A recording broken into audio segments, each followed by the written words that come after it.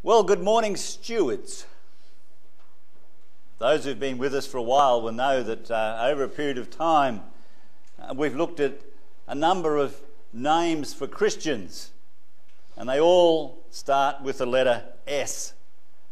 And so far, we've looked at Christians as sons, Christians as saints, Christians as sheep, and Christians as stones. But today, obviously, we're going to be talking about Christians as stewards. Now, this word steward is not one that is used a lot today. It's not used all that much in the Bible either. But it is an important word. And it's an important word if we have to have a if we're going to have a proper understanding of what it really means to be a Christian, to live out the Christian life. But what we need to do first is to grasp the meaning of the word.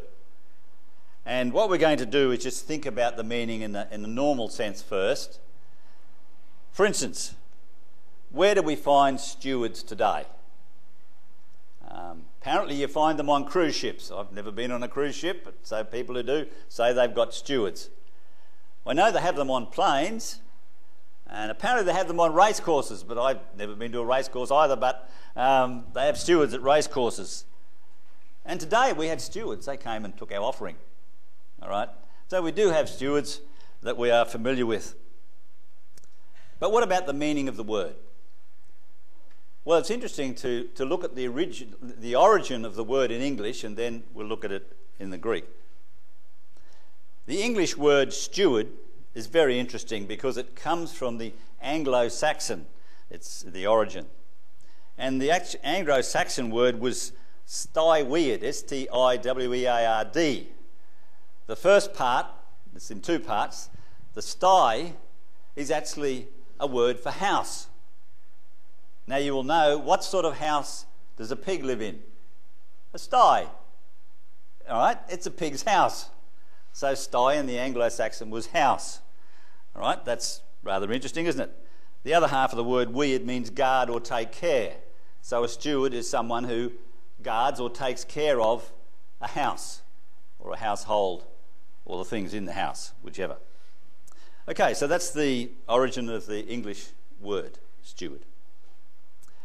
But what about the Greek word? Now, I don't profess to be a Greek expert, but we've got some here that are, so I've got to be careful what I say, and I probably won't pronounce it right, but I don't think that matters too much. I get my information from books, and I trust they're accurate. Um, but the Greek word for steward is a word which is spelled O I K O M O N O M A S, which has two parts again. The first part, O I K O S, means house, and the last part, N E M O, means to arrange. So a steward in the Greek is someone who arranges or manages a house or property. So a steward then is someone who's put in charge of property by his master. Is, if you like, a manager um, of what his master gives him to look after. So, what we're going to do now is look at a couple of references in the Bible where the word steward is used, just to see it in its context. So, the first one's in Luke 16. We're not going to look at all the references in ourselves this morning, but there's a couple we'll look at at the beginning here, and then I'll quote some others later on.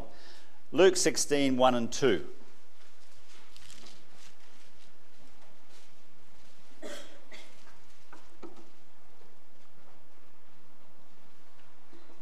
Luke 16, just the first two verses. And he also said to his disciples, There was a certain man who had a steward, and an accusation was brought to him that this man was wasting his goods. So he called him and said to him, What is this I hear about you? Give an account of your stewardship, for you can no longer be a steward. So he got the sack. All right? That's bottom line. He wasn't doing the job properly as a manager. Another one's in 1 Corinthians chapter 4 and 1 and 2 again. 1 Corinthians 4 1 and 2.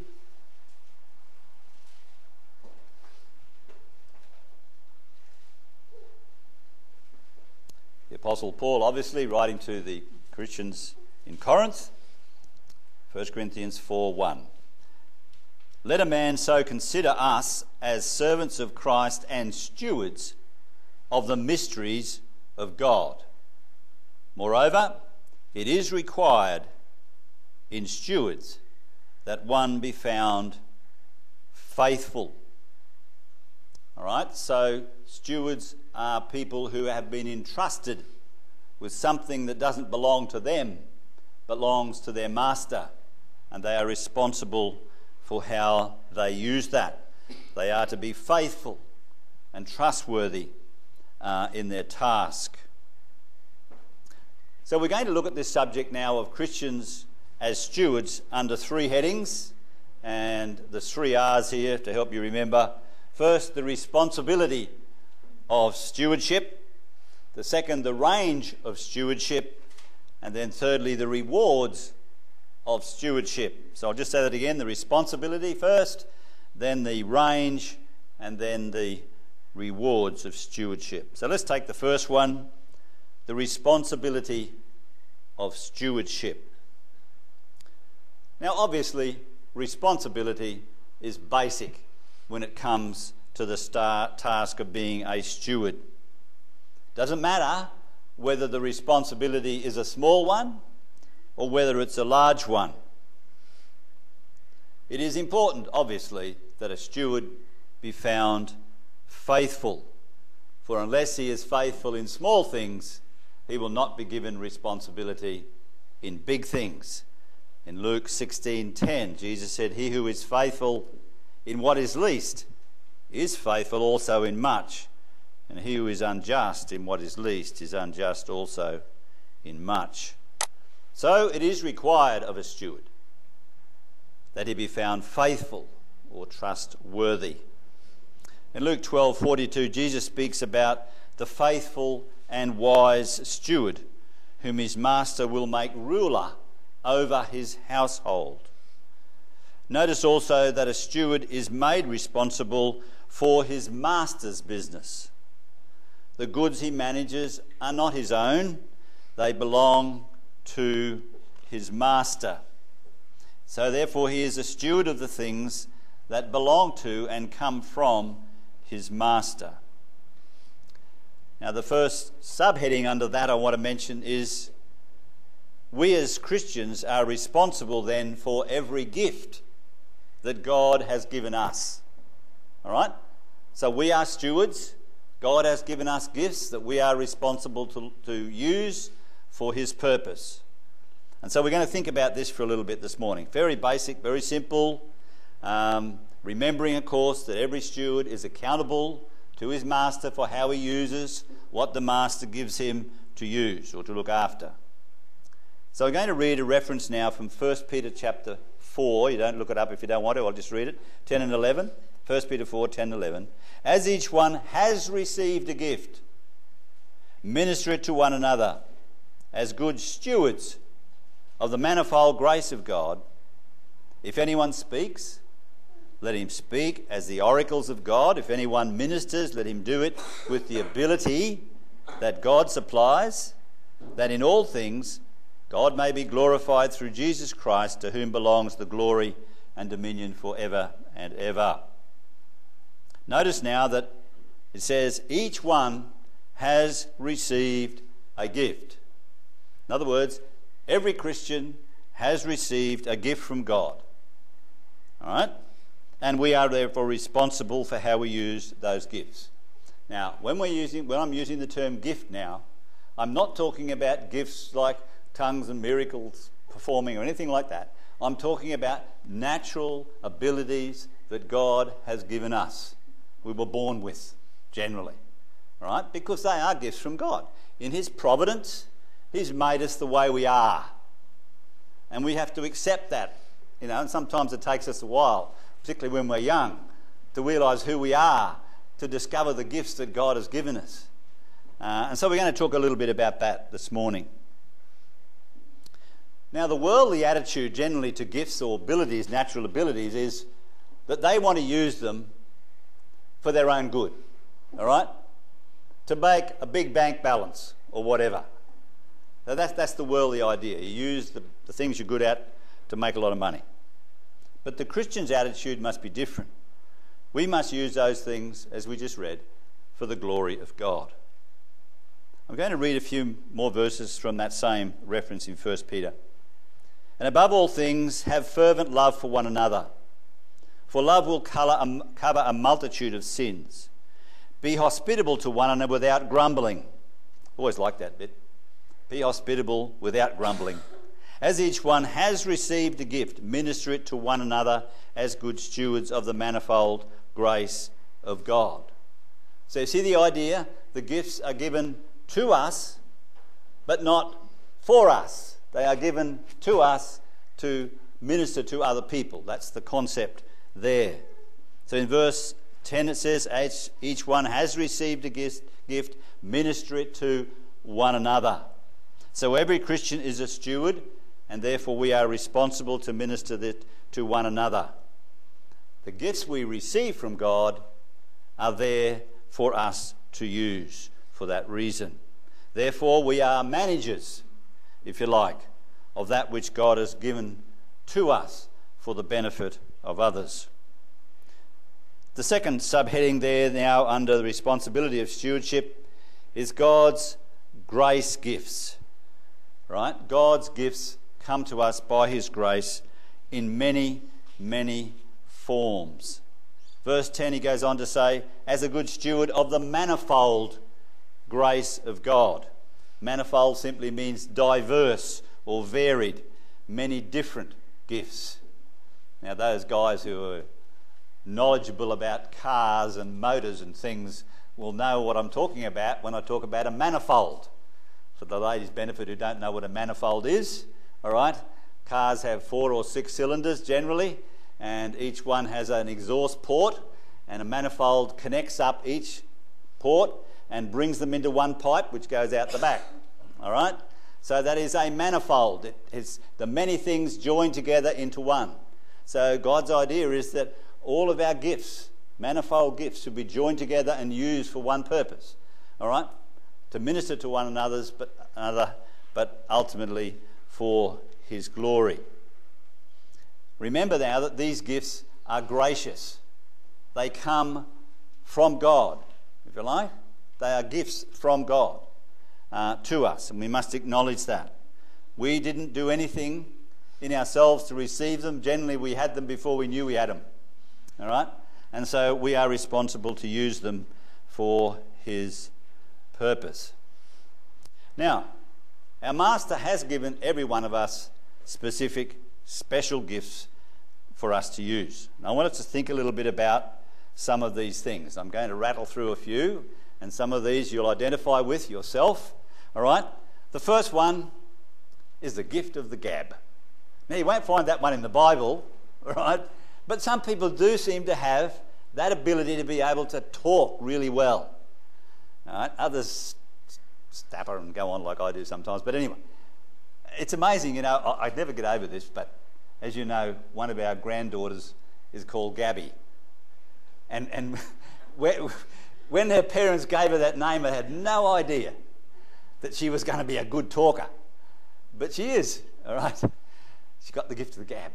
So, so talking like that is, is a gift, and it can be used the right way. You can use used the wrong way, of course, all right? So the gift of the gab, we can use it, or people can use it for the glory of God, for the benefit of others. Another simple one is, is music. Once again, you won't see the gift of music mentioned in the Bible, but it is a gift. It's a natural gift that some people have. Some people have a little bit of music, all right, a little bit of gift. They can just keep in tune, and that's about all. Others got a little bit more. They can sort of knock out a few tunes on a piano. Others have got even more, and they're really good at it. And there's a few that are absolutely exceptional. So these gifts vary, don't they? But they come from God to be used not just for our own benefit, but for the benefit of others, for the glory of God ultimately. What about the gift of, of administration or organisation? I never used to think that was a gift until only a little while ago. Cliff said to me one day, Do you know you got the gift of administration and organisation? I said, Me? I thought everybody could do that. And he said, No, no, no. That's not true. Yeah. So it, it, you know, we, we, God's given us these things. Sometimes they, they sort of come down in families, some of these things, don't they? but they're still gifts from God, and He wants to use them for His purpose, not just for our own benefit. Hospitality. Some people are excellent at that sort of thing, aren't they? Other people not so good. So if God's given you that ability, well, He wants you to use it. That's why He's given it to you. Um, working with your hands. Some people are so good at work, they can do anything. Others are hopeless. I mean, Doug here, he's, he's amazing. He can do anything. he can turn his hands to anything. But why is he given that gift to him and, and other people as well? Because he wants to use it for the benefit of others. I know Doug does. All right? So these things are practical, everyday things. Um, gift of languages. Now, I'm no good. I'm flat out coping with English. But some people, that, they can turn their, hand to, their mind to all sorts of languages. I call it the gift of tongues. It's the gift of languages, all right? The ability to be able to learn other languages and commu- communicate in other languages. God's given it for a purpose, that we might use it. Gifts of helps. Some people say, oh, I'm the most good, I can only help. Well, think about it.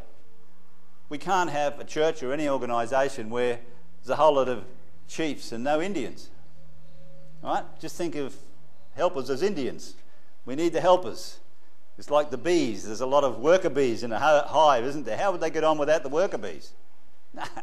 You've got to have them, all right? So everybody can help. Everybody, I think, has got that gift. Gift of teaching, obviously, that's another one which is obvious. Some people have that ability, others don't. If we have that ability, well, God requires that we use that uh, for His purpose. Other one, technical, computers. Now, I, I struggle with that a little bit. I manage, but that's all. But other people like that over here, they're, they're, they're brilliant at it. They just seem to be natural at these things. Well, use it for His glory. Use it for the benefit of others. That's what it's for. Other people are great with children. Some of you know Gail Shellard that was, she's now married. But Gail was what I used to call a Pied Piper. No matter where she went, kids were around her. She just had it. It's incredible to see. Uh, and some people have that. Well, why did God give her that gift? Obviously, because He wanted her to use it for His purpose. Other people are good with money. I'm not. But some people are. And Andrew over here is very good with money and he's an accountant and, and we thank God for him. All right? So, why has God given him that ability? To use it for God's glory. All right? For the benefit of others, and he's doing that. Uh, there are lots of other things we could mention, but they're all practical things, and it's all to do with being stewards. So, God's grace gifts come in many different forms, and everybody is different. The Apostle Paul understood this, and when he wrote to the Corinthian church and he said to them, Ask them a question Are all apostles? Are all prophets? He was waiting for the answer to come back. No, of course they're not. Because God only gave those gifts to specific men for a specific purpose. Right? So we must remember that God had a reason for giving gifts to people. And it actually goes on and says, God has appointed these in the church. They are appointed. God has given them appointment, if you like. This is your task. And we've got to think ourselves about that, that we have an appointment. God has appointed us. He's given us gifts and He wants us to use them as best we can for the benefit of others and for the glory of God. So we can see that being a steward is itself a gift from God, and God has given us the gifts to enable us to be uh, stewards, and we are responsible, obviously, to Him for what we do. Paul said to Timothy once Timothy, do not neglect the gift that is in you, that has been given to you. Do not neglect it, because it is possible to neglect our gifts, isn't it? Okay, so we talked about the responsibility of stewardship. Now, secondly, the second R, the range of stewardship. And I want to mention just three simple things here, things you may not have thought about in relation to gifts. And the first one is the gift of time. You might think, well, where's that in the Bible? Well, I'll show you where it is in the Bible. Ephesians 5, um, verse 15 and 16, and we'll have a look at it. Ephesians 5, 15 and 16.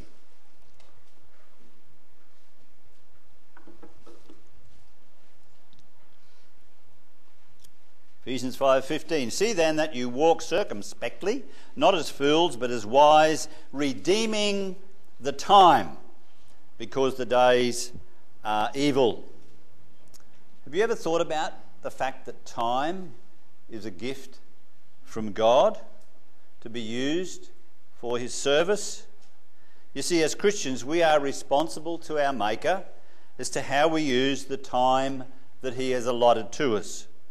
So he talks here about redeeming the time or buying the time up. Right? It's like going to a marketplace, seeing uh, something that you really like, something that's going on a special, and taking the opportunity and, and making the most of it. So we see the time God's given us. The idea is to make the most of the time that God has given it, given to us. Also, time is a very interesting commodity. I don't know if you've thought about this. But time is strange because time is one of those things that you can't store up to be used later, can you? You can't. It's impossible. All right? Time is there to be used then. And as we said before, time uh, the Bible talks about time being, being oh, sorry, redeeming the time or buying up the time. Have you noticed that the world always talks about spending the time. All right? They spend the time. But as Christians, we must ask ourselves Am I a good steward of the time that God has allotted to me? Am I redeeming the time? Or am I just spending the time? Okay? Now, I'm sure we'd all agree that one of the most common excuses for not getting things done is, I haven't got time. we all say it, don't we? But it's interesting, really, when you think about it, that everybody has exactly the same amount of time, don't we? There's 24 hours in every day, and so on. So we've all got the same amount of time. It really just depends on how we use it. So, this issue of being a steward of our time is a very practical one, and we are responsible, obviously, to our God as to how we use the time that He has allotted to us. The second thing under this heading of the range of stewardship I want to just mention briefly is the stewardship of money. Now, some people think, well, oh, money? That's not a gift from God. I worked for that. That's mine. Right? Is that right? Well, think about it a little bit. There's a wonderful story in the Old Testament in Chronicles about the preparation for the building of the temple in Jerusalem in King David's day. And uh, you ever thought where all the money came from to build it? Came from people. All right? 1 Corinthians 29, I'll just read a few verses.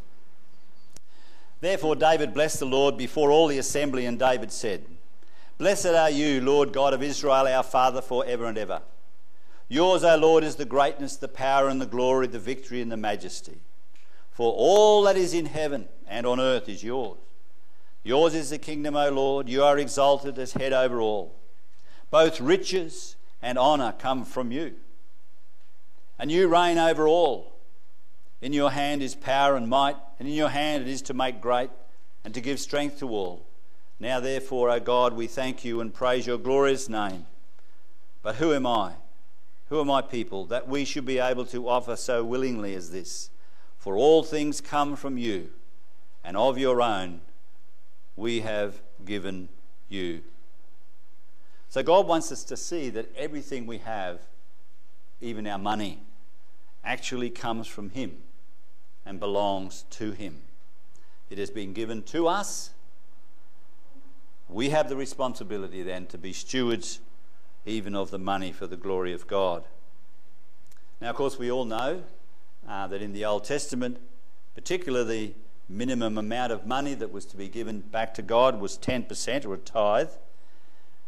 But remember that widow that Jesus told us about, who gave two mites into the offering box in the temple when others were coming past and they were putting large amounts in.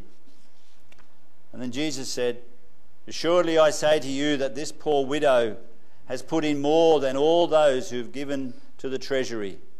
For they all put in out of their abundance, But she, out of her poverty, put in all she had, her whole livelihood. So it's not the amount, is it? Put it this way it's not how much we put in, but how much is left.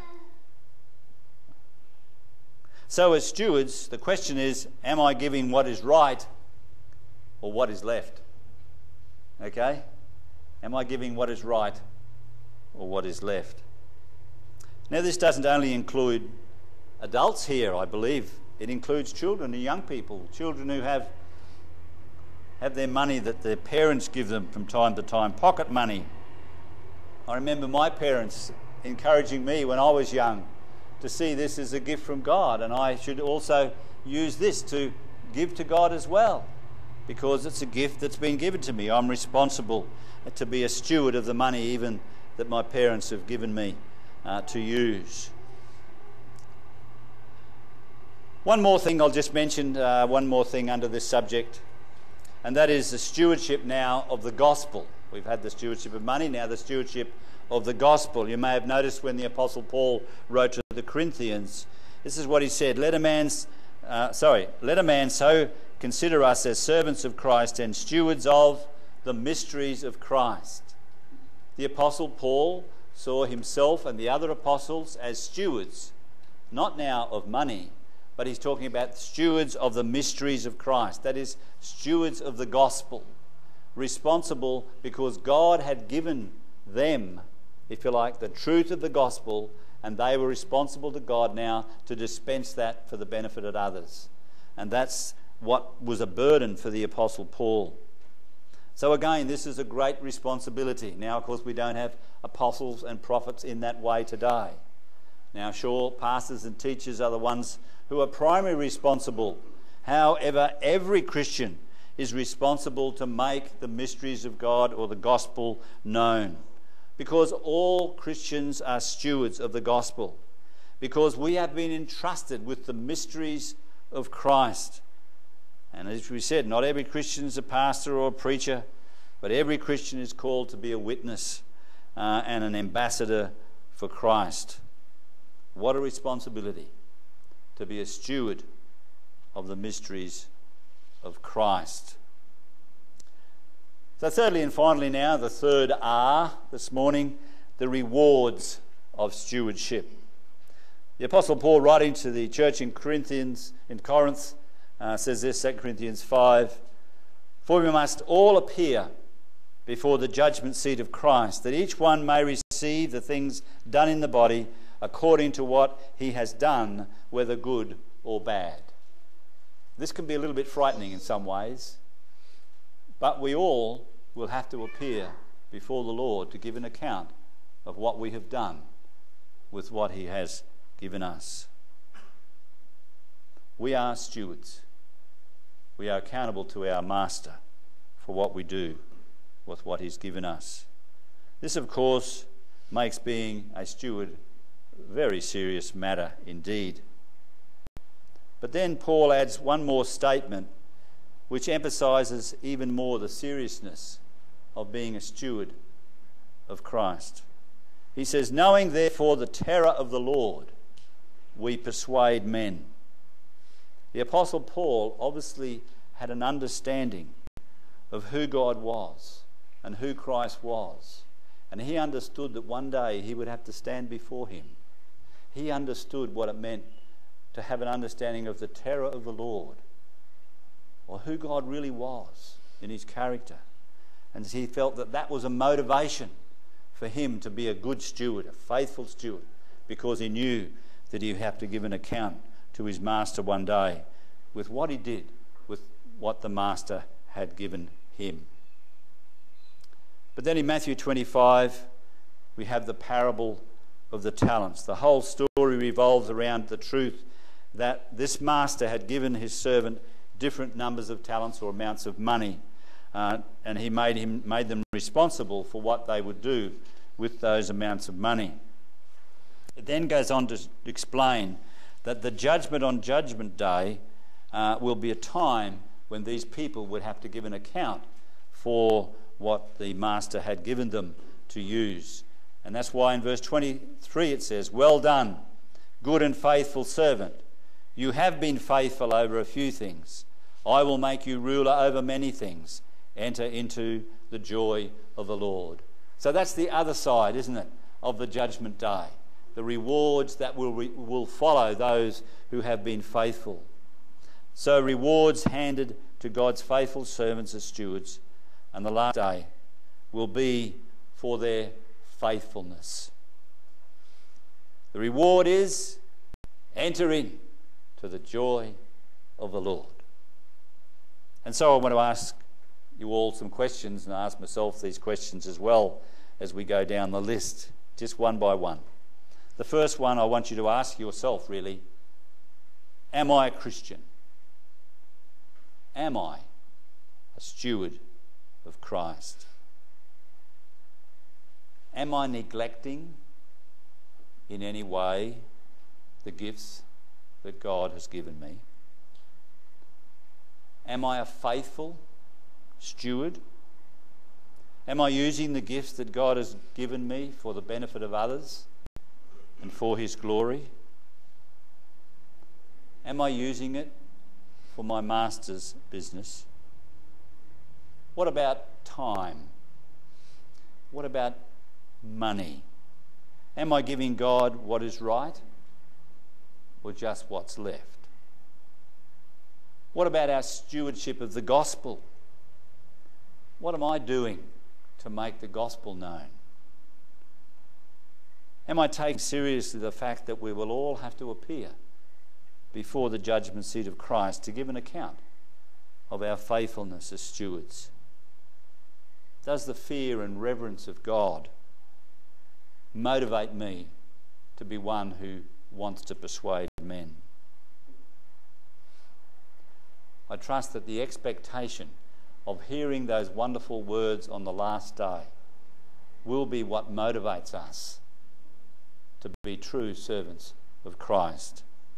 Those words will be Well done, good and faithful servant. You have been faithful over a few things. I will make you ruler over many things. Enter in to the joy of the Lord. I trust that everyone here this morning will hear those wonderful words from the lips of our Master himself. Let's pray, shall we?